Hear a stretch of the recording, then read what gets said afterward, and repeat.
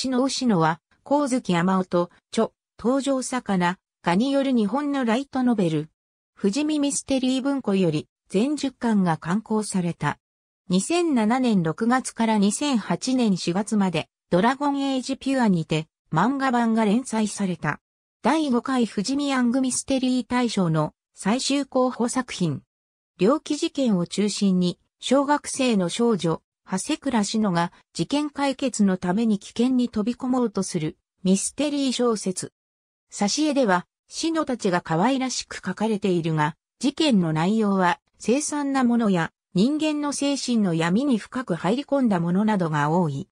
物語優先思考の話も存在し、推理物としての体をなさないものもある。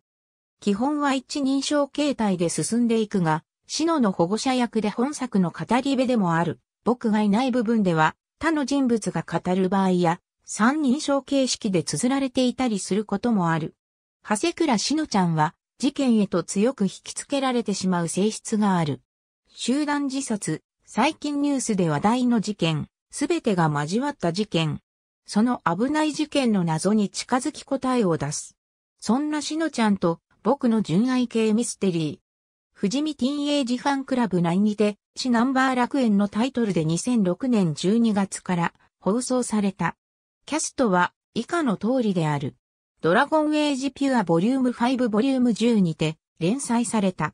作画担当は小説の挿絵と同じ登場を魚。本編と異なり事件に関わることはなく、登場人物の日常を描いている。